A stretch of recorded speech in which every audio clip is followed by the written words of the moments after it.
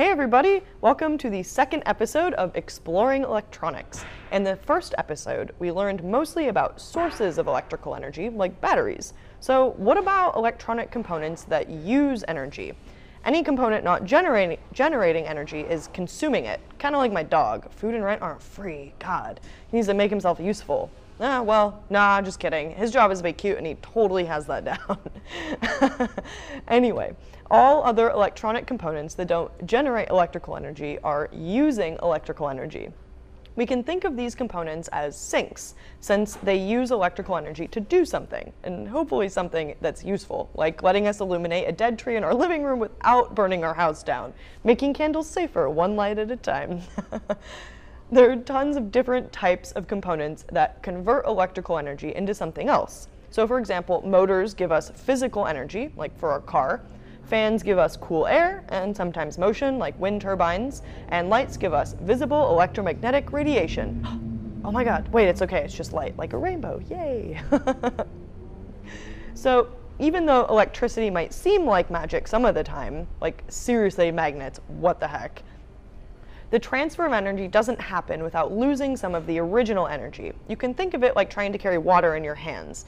Fewer and smaller gaps in your fingers mean you'll lose less water, but it's pretty much impossible to carry the water a few feet without losing at least some, if not all of it, unless you're a ninja or something like that.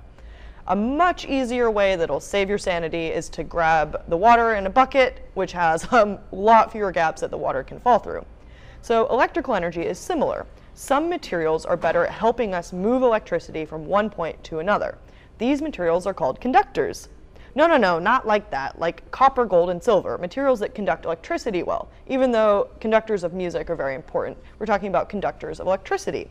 So these materials have fewer obstacles that the charges bump into so that you don't lose too much of your electrical energy in your circuit. So kind of like this demonstration where the ping pong balls represent the charges. They have little faces on them because they're happy charges.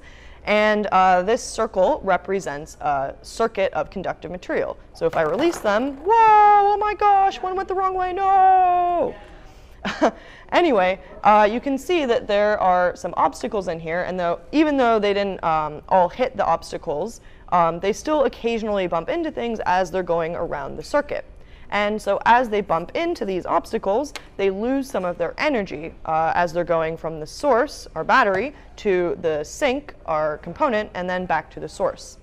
So when you want to share electrical energy with someone or something else, you want to minimize these energy losses so that your friend, or well, the component, gets the right amount of energy.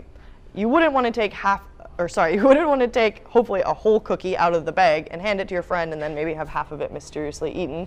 Uh, that's just rude, you know, geez.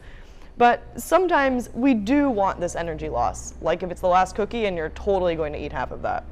So in the case of electrical lights, they use special filaments called, uh, sorry, special materials called filaments that cause so many charge collisions that the filament gets insanely hot and it glows, kind of like a tiny miniature version of the sun encased in a vacuum. Ah, it's so cool.